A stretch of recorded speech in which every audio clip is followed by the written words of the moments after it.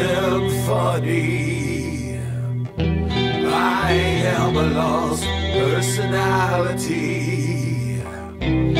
I am caught in a mystery.